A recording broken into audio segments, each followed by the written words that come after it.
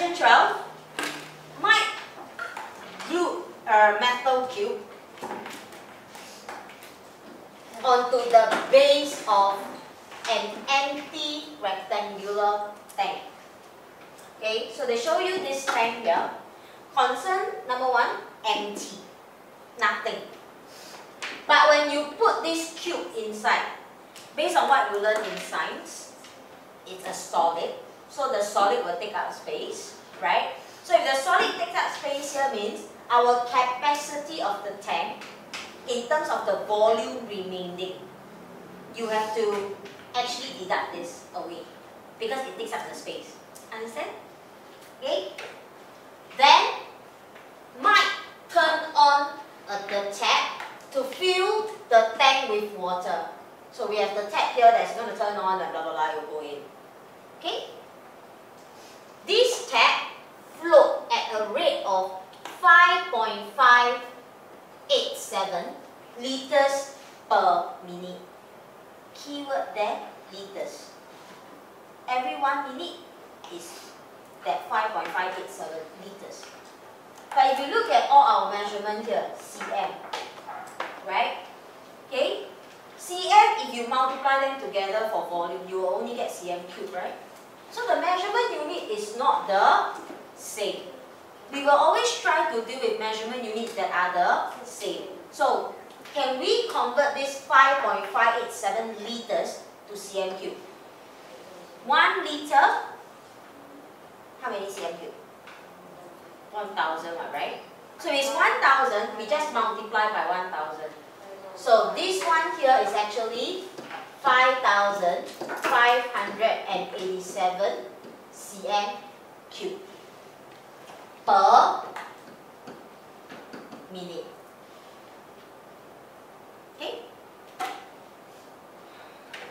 Next part, 8 minutes to fill the tank to its brim. To its brim means the whole thing will be filled up, right? But this whole thing here, remember, is it the length, breadth, height multiplied together? No, no. No. It's the length, breadth, height multiplied together, but without this. Take away the space for this, right? Okay? So with the metal cube being completely submerged, okay? And you're supposed to find the side of the metal cube. So basically, cube means all sides are equal. The vol you need the volume first before you can do what we call the cube root. Alright, so you need volume.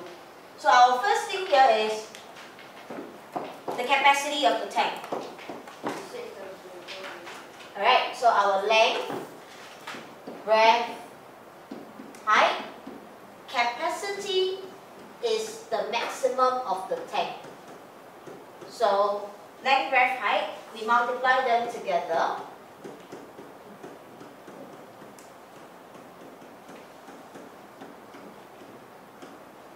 Forty-five thousand six hundred and ninety-six.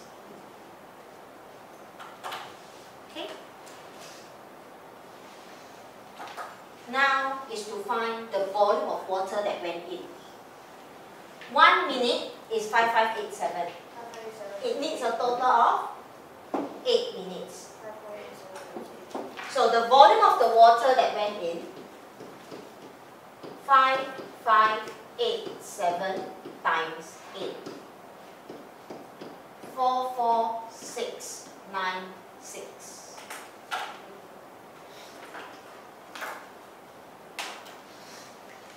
Capacity, volume of water, okay, you minus, you get the volume of the cube.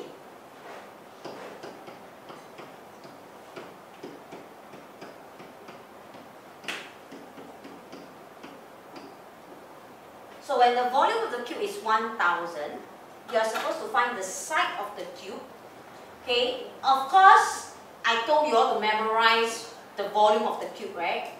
Okay, but if you haven't memorized, okay, and if this happen to be paper 2, you can use calculator. On your calculator, there's a thing called cube root, okay, which most probably you got to press the shift and then press the square root button. Okay, if you have a calculator, you can actually look at it.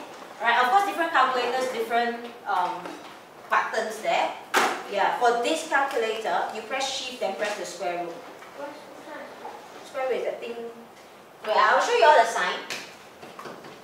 What you should be getting right is something like this. We call this the cube root. This is the square root. Can you find this button on your calculator? Yes. But if you press shift and you press the same button, you will see that it becomes this. Correct? For that calculator, for this calculator is different. For this calculator, oh it's the same, shift and this. Oh wait, wait, wait, you, you, you, wait. right? You press shift then you press this. You press, you press clear first ah. You, wait, it doesn't matter because you have that bracket created there.